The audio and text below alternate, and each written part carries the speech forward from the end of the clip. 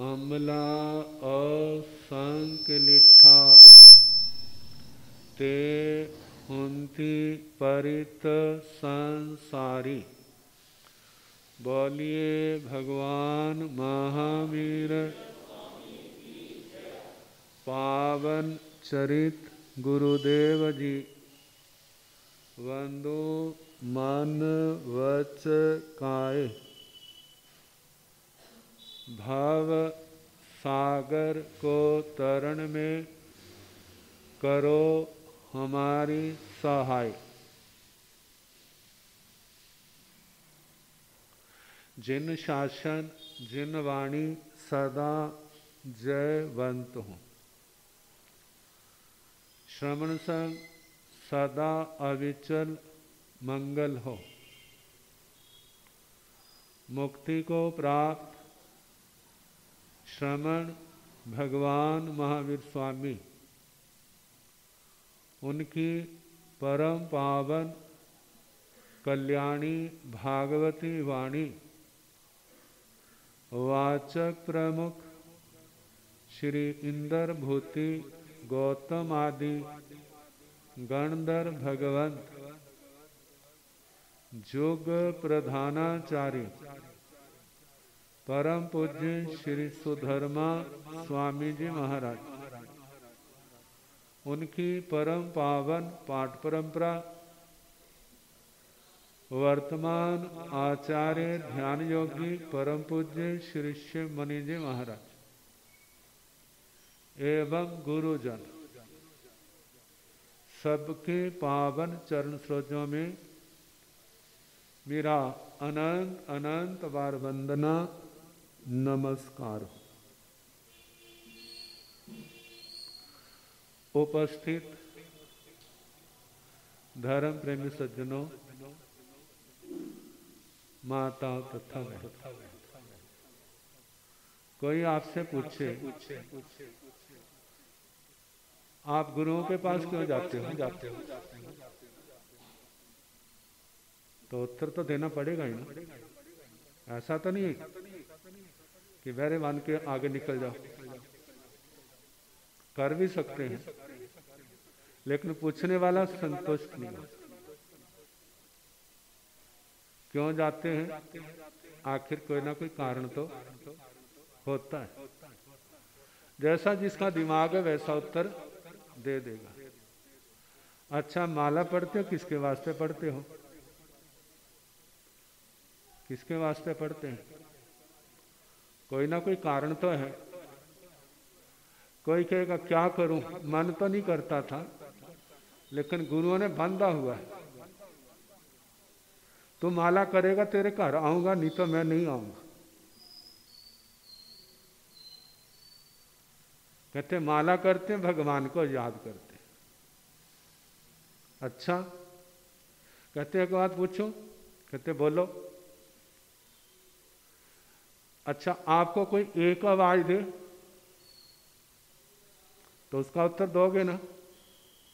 फिर आपको आवाज़ दे, फिर उत्तर दोगे। तीसरी बार फिर आवाज़ दे तो फिर क्या दशा होगी? मानव बड़ा शांत है, फिर उत्तर दे दिया हाँ। चौथी बार फिर आवाज़ दे, फिर उसके बाद आपकी क्या दशा होगी? और लगातार पंद्रह बीस बार आपको आवाज़ दे दे। फिर क्या दशा होगी? कहते, तुम्हारी जो दशा है, जो तुम हर समय भगवान को आवाज़ें देते रहते हो तो भगवान की क्या दशा होगी भला? भगवान को तो पागल बना दोगे। और उनको आवाज़ देने वाला कोई एक व्यक्ति तो नहीं है। कितने लोग हैं? फिर भगवान की क्या दशा होगी? अब ना तो नींद, ना आराम, ना कोई काम कर सकेंगे, क्योंकि हर ओर से आवाज़ें ही आ रही हैं। अब आराम करना है, काम करना है तो इसका मतलब टेलीफोन के स्विच ऑफ़ करने पड़ेंगे। क्योंकि एक थोड़ा है। सबके, सबकी लाइनें मिलती है भगवान के साथ, और सभी और से क्या हो रही घंटियाँ बज रही है। भगवान, आओ, मैं बड़ा याद कर रहा हूँ। भगवान, आओ, मैं बड़ा मुसीबत में हूँ। और देखो वाला कितनी आवाज़ें आती हैं। अब भगवान को शांति चाहिए जो तुम्हारे को चाहिए। कहते, भगवान तो शांति से बैठे थे लेकिन इन भक्तों ने भगवान को भी क्या कर दिया? अशांत बना दिया। इसलिए कहते जी लोग छोड़ के चले गए वो। कहा चले गए? कोई कहते, वैकुंठ में चले गए, कोई अपने धाम, कोई सचखंड में चले गए, कोई कैलाश पर्वत पर चले गए, कोई कहीं पर चले गए। कहते जे तो हमारे को आराम से बैठने नहीं देते। अच्छा। तो कहा, कोई भगवान को याद करता है, कोई सामायिक करता है, कोई पूजा पाठ करता है, सारे किसके वास्ते करते हैं? हमारे को शांति मिले। शांति मिले। अब कहा जे, शांति कैसे आएगी? शांति कोई कहता भगवान कृपा करेंगे ना, हमारे को शांति आ कोई मैकेनिकल इंजीनियर था, उसने अपने जो विद्यार्थी स्टूडेंट थे, कहते बेटा, किसी ने स्विच ऑन किया और पंखा चल पड़ा। कहते पंखा कैसे चला? कहते भगवान की कृपा हुई। किसकी कृपा हुई? भगवान की कृपा हुई। कहते अच्छा बिजली का कट लगा हुआ है। फिर स्विच ऑन किया। कहते, मैंने कहा था ना, भगवान की कृपा होती तभी चलता है। अब भगवान ने कृपा नहीं के लिए से नहीं चला। कर लो स्विच ऑन, जितना मर्ज़ी ऑफ़ ऑफ़ ऑन करते रहो। जब भगवान की कृपा होगी, तभी जो पंखा चलेगा। अब जे, जो उत्तर किसके ऊपर? आधारित है, श्रद्धा के ऊपर। विवेक के ऊपर नहीं है। उसके चलने का कारण क्या है? वह तो करंट जब करंट आएगा तो वह चलेगा बिजली की धारा। जब बिजली का प्रवाह नहीं होगा तो फिर वह स्विच ऑन ऑफ़ जो है, वो तो संपर्क को जोड़ता है। अब कहते हैं, क्या शांति है या नहीं? कहते हैं तो सही। जे कब मिलती? जब हम आराम करते, जब हम आराम करते, तब शांति का एहसास होता है। जब आराम नहीं करते, तब शांति क्या हो जाती? धीरे धीरे धीरे खत्म होते होते खत्म ही हो जाती। देखो, इस शरीर को भी विश्राम की ज़रूरत है। यदि शरीर को विश्राम ना दिया जाए, मर्यादा से ज़्यादा मेहनत की जाए, थकावट के कारण जा तो टेम्परेचर चढ़ जाएगा, या उसका बीपी हाई हो जाएगा, कुछ ना कुछ तो प्रभाव पड़ेगा। और यदि समय समय पर वो आराम करता रहे तो उसका शरीर ठीक चलता रहे। जो तो हमारा शरीर हार्ड मांस का है। जो जो मशीनरी है, उसको भी तो विश्राम की ज़रूरत होती है। लगातार चलाए रखो चलाए रखो, उसके अंदर कितनी गर्मी पैदा हो जाती है। और जब चलाए रखते हैं, चलाए रखते हैं, जब हीट एक स्थान से जब बढ़ जाती है तो वही मशीनरी फिर आग का आग का रूप धारण कर लेती तो शरीर की यही दशा है। अब शरीर के स्वस्थ के लिए शरीर का विश्राम मशीन ठीक रहे तो उसका भी समय समय पर विश्राम देना पड़ता अब आई बात आत्मा की। आत्मा की समाधि कब आई? कहते इस आत्मा को अभी तो विश्राम दो ना। कहते हम सोते तो आत्मा को विश्राम, कहते कहा आत्मा को विश्राम? सोने के बाद भी सपनों की दुनिया में खोए रहते हैं, कोई कहीं जाता, कोई कहीं जाता। हर समय चल रहा है।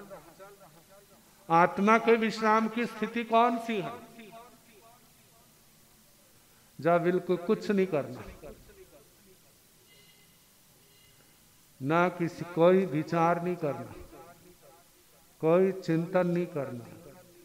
जवान से बोलना नहीं शरीर से कुछ करना नहीं। जिसको यौगिक प्रक्रिया में योग निद्रा कह देते। कहते, बस टांगे पसार के लेट जाओ। क्या करो? टांगे पसार के लेट जाओ। लेकिन सोना नहीं। सांस चलेगा, वो चलता रहे। लेकिन तुमने कुछ नहीं करना। ना हाथ हिलाने, ना पैर हिलाने। लेट जाओ। कहते, नींद आ जाएगी, कोई बात नहीं, आने दो कोशिश करना, सोना नहीं। यदि नींद आती है तो फिर आने दो।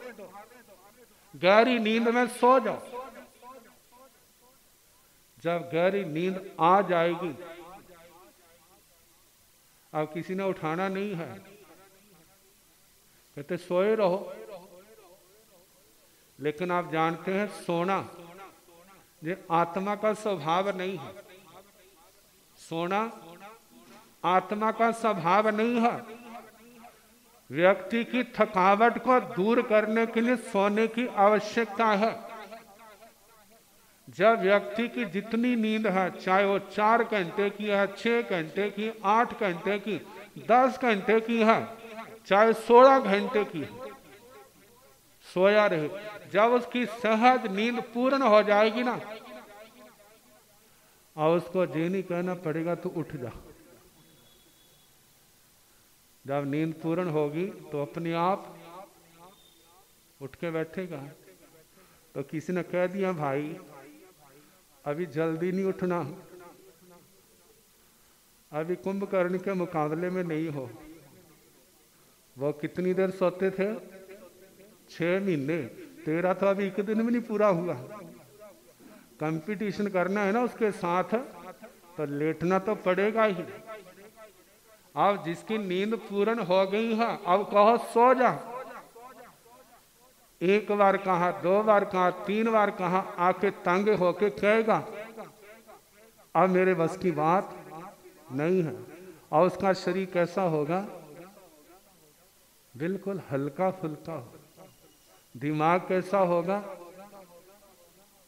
बिल्कुल शांत होगा। क्यों शांत होगा? क्योंकि उसकी थकावट उतर गई। जितना आप शांत दिमाग से काम कर सकते हैं, उतना थके हुए दिमाग से काम नहीं कर कई बार आप कहते हैं, हमारा बच्चा पढ़े पढ़े पढ़े। वो भी डर के मारे, प्रलोभन के मारे। आपको देख करके किताब खोलता रहता है, देखता रहता है, पन्ने पलटता रहता है। फ़ोटो देखता रहता है, माँ भी बड़ी खुश, बाप भी बड़ा खुश, बेटा क्या? बहुत पढ़ाई कर रहा है। और जिस समय रिज़ल्ट आता है, उस समय क्या देखते हैं? ज़ीरो कुछ भी नहीं। अब उनको संदेह आएगा। हमारा बच्चा इतना पढ़ता है तो इसके नंबर कम क्यों है? इसका मतलब पढ़ाने वाला, चेकिंग करने वाला, पक्षपात कर रहा आप पहुँच जाएँगे उसके पास। कहते, हमारा बेटा इतना पढ़ता, तुमने फेल कैसे कर दिया? कहते, चाहे कितना पढ़ता है, मुझे क्या पता? मैंने तो पेपर देखना है। ये देख लो पेपर। जब पेपर देखा तो कोरा। अब बच्चे से पूछते, तू इतना पढ़ता है? पेपर तेने खाली कैसे दिया? तो पढ़ता कौन है वाला अब जिस समय तो माँ बाप सामने होंगे तो किताब होगा माँ बाप ओझल हो तो पास में मोबाइल है। घर में टीवी चलता, उसका ध्यान कहाँ पर है? पढ़ाई तो नहीं हो रही। पढ़ने वाले कहते हैं, हम दिमाग को विश्राम नहीं देते। मानो बच्चा आठ घंटे सोता है, दस घंटे सोता है, ये बड़ी बात नहीं है। जब उसका दिमाग बिल्कुल शांत होगा तो चार पाँच घंटे में भी इतना पढ़ लेगा कि दूसरे दस बारह घंटे में भी इतना पढ़ नहीं सकेंगे। क्यों? क्योंकि उसका दिमाग ताज़ा, फ्रेश है। जो जो पढ़ रहा है, सारा उसके दिमाग में बैठ रहा है। एक बार पढ़ लिया है रिवीजन कर लिया है, सारा उसके दिमाग में बैठ जाएगा। और यदि बाँध के बैठाओगे, उसके अंदर पढ़ाई का गौरव पैदा करो कि पढ़ने की क्या क्या लाभ है। ऐसा होगा जे होगा, जब उसके दिमाग में बैठेगा और कहा, अपनी अब मेहनत करो। जिस समय थक जाए तो सो जाना, लेकिन अपना समय व्यर्थ नहीं करो तो ऐसे बच्चे जब उनको एहसास होता है तो मन से मेहनत करते हैं और सफलता के शिखरों को का स्पर्श करते अब बात तो आत्म समाधि का। कहा, जैसे शरीर के अंदर वह थकावट आ जाती है, अब देखो इस आत्मा को, अच्छे काम करने से इतनी थकावट नहीं होती जितनी गलत काम करने से थकावट होती सात कुव्यसनों की बात कर रहा है इन सात कुव्यसनों का त्याग करना। कहते, पूर्ण त्याग क्या है? जब हमारा मन भी उस ओर ना जाए बंदे हुए नहीं, हमें एक जे काम नहीं करना, क्यों? क्योंकि हम जैन हैं। हमें जे काम नहीं करना, क्यों नहीं करना? क्योंकि हम गुरुओं के पास जाते, गुरु ना करते। कहते, आप इसलिए रुके हुए हैं केवल अपने परिवार के संस्कारों के कारण जब गुरुओं के कारण से। यदि मानो आपका परिवार, आपके गुरुजन आपके ऊपर से रोक हटा दे, फिर फिर क्या होगा? फिर इसका मतलब वो काम करोगे? यदि वो काम करोगे तो इसका मतलब केवल उनके कारण से रुके थे, तुम्हारी आत्मा नहीं रुकी हुई। आत्मा ने समझा नहीं। जब आत्मा को समझ आ जाएगी कि इनसे आत्मा का नुकसान होता है, अपने नुकसान के साथ दूसरे का भी नुकसान होता है। हमें, हम सामाजिक प्राणी हैं। हमें ऐसा कोई काम नहीं करना जो अपने लिए या दूसरे का नुकसान करने वाला जे सातों कुव्यसनों का त्याग इसी बात को लेकर के हमारे गुरुजनों ने इनका उपदेश दिया है, सातों कुव्यसन, जे आत्मा की, परिवार की, समाज की अशांति का कारण, अव्यवस्था का कारण। जानते हैं, यदि कोई व्यक्ति सच्चे अर्थों में धर्म के रास्ते पर है तो उसके ऊपर गवर्नमेंट की कोई कानून की धारा नहीं हो एक प्रसंग आता है। चारित्र चूड़ामणि संजम सुमेरु श्री मयाराम जी महाराज ने जब उन्होंने दीक्षा ली तो उनके गाँव में ऐसे लहर चली, दीक्षा लेने वालों हम भी दीक्षा लेंगे और हम भी दीक्षा लेंगे। कितने लोगों ने दीक्षा ली? एक व्यक्ति की शादी होगी हुई थी। उसके भी लटक उठ गए और उसका रिश्तेदार, उसका बहनोई परिवार के पुलिस में थे। कि जानते पुलिस वालों का अपना दबका होता है, वो भी दबका मारने लगे। देख तेरे को जेल में बंद कर देंगे। कहते, कर लो। और वो भी ऐसा चलते चलते पटियाला के राजा तक बात पहुँच गई। जब उसको रा, राजा के सामने लाया गया कहने लगे तू कहना क्यों नहीं मानता? कहते क्या मानो? तू घर जा। कहते मेरा मन नहीं लगता मेरी आत्मा वहाँ तैयार नहीं होती। मैंने संन्यास लेना है। मैंने अपनी आत्मा का कल्याण करना है, जन्म मरण से मुक्ति की ओर जाना है। कहते हमने जो तेरी बातें नहीं सुननी। यदि तेने हमारा कहना नहीं ना माना, हम तेरे को जेल में बंद कर देंगे। कहते, ठीक है, कर दो बंद। दुनिया में एक नया इतिहास बनेगा। कहते, क्या बनेगा? कहते जे जेल उच्छृंखल व्यक्तियों के लिए होती है। किसके लिए? जो कानून का उल्लंघन करते हैं, जो जर जोरू ज़मीन के भोगी है, उनके लिए है। लेकिन जो जर जोरू ज़मीन का त्यागी है, जो उनके लिए नहीं है। मेरे को घर गृहस्थी नहीं चाहिए, मेरे को धन नहीं चाहिए, मेरे को ज़मीन नहीं चाहिए, मैं तो इन सबको छोड़ चुका हूँ अंत अंतकरण से। अब आपने जेल में बंद करना कर दो, क्योंकि तुम्हारे पास जिसकी लाठी, उसकी भैंस, वही बात है ना। जिसके पास ज़ोर है, जो चाहे वो करवा ले। लेकिन मेरी आत्मा परमात्मा के मार्ग का पथिक है। जब राजा ने सुना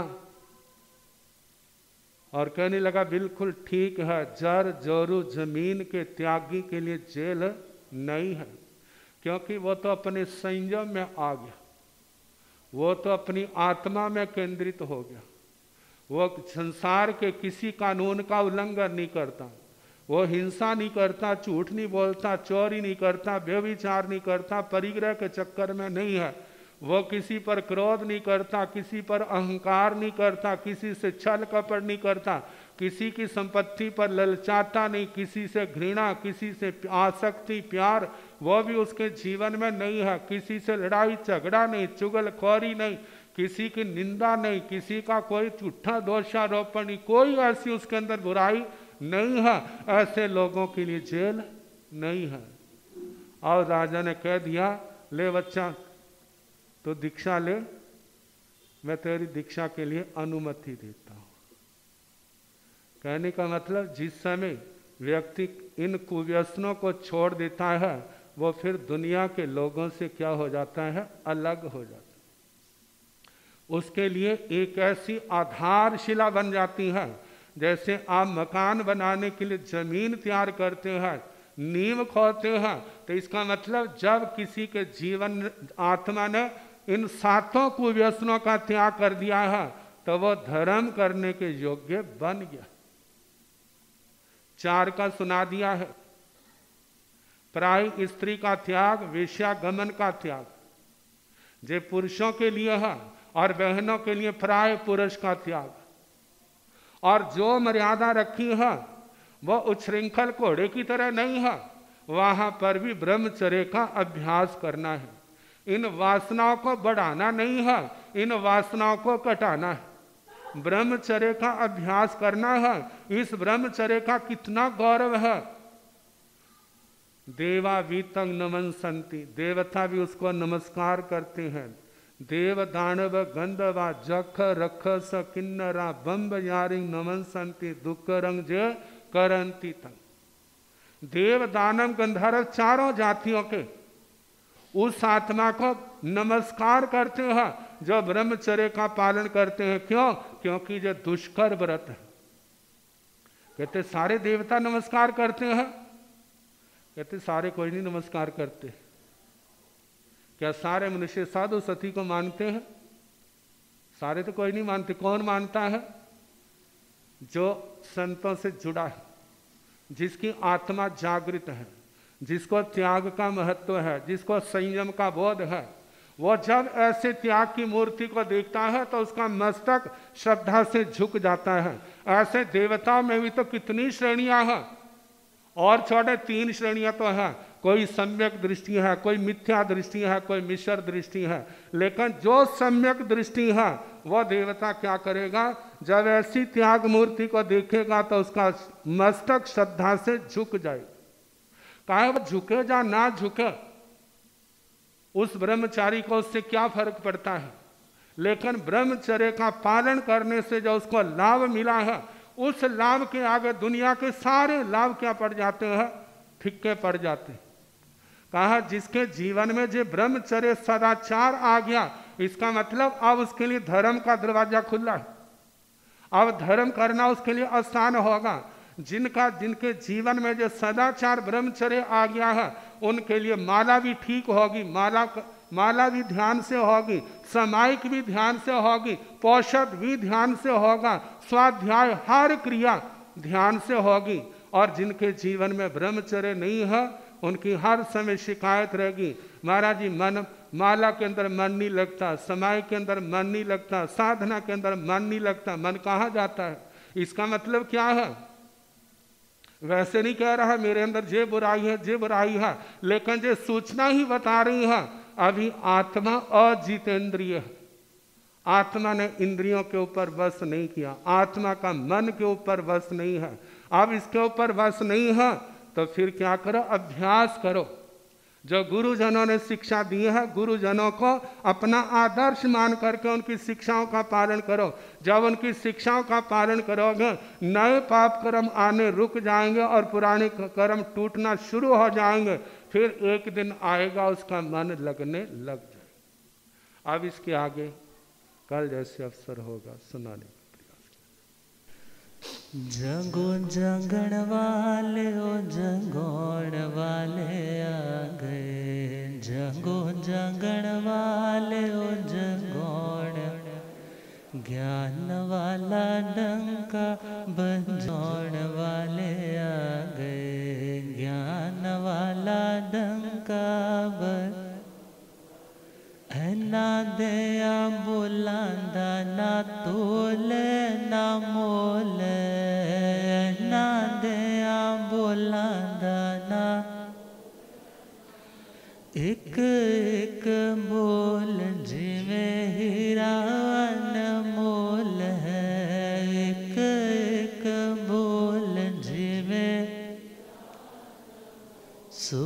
सुनण वाले सुनौण वाले गए सुनो सुनण ज्ञान वाला डंका बजौण वाले आ गए ज्ञान वाला डंका ब उठो प्यारे प्यारे चन्नते सितारे ओ उठो उठो प्यारे। पर पर प्याले पियो प्रेमियों प्यारे ओ। पर पर प्याले पियो प्रभु रस पीड़ते पिलौण वाले आ गए। प्रभु रस ज्ञान वाला डंका बजौण वाले आ गए। ज्ञान वाला डंका। बड़े सौभाग्य के साथ आप सभी को बीतरागवाणी का या दिव्य पावन पुनीत संदेश श्रवण करने का सौभाग्य मिल रहा है।